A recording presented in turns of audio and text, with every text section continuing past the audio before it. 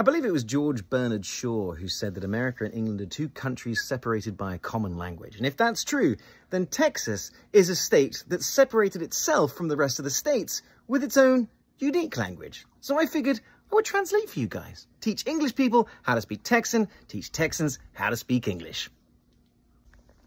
Water. Water. Light beer. Also water. Shiner. That's beer. Truck pickup truck. Semi, lorry. Popsicle, lolly. Lotto, lottery. Lollygagger, someone who needs to hurry up. Taco, taco. Bluebell, ice cream. Buc-ee's, a small country with petrol pumps. It's raining like a cow pissing on a flat rock. It's raining cats and dogs. G-Jet, have you eaten and would you like some food? Trunk, boot.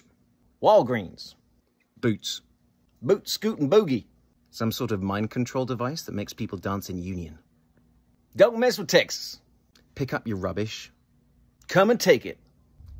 I wouldn't. I just leave it alone.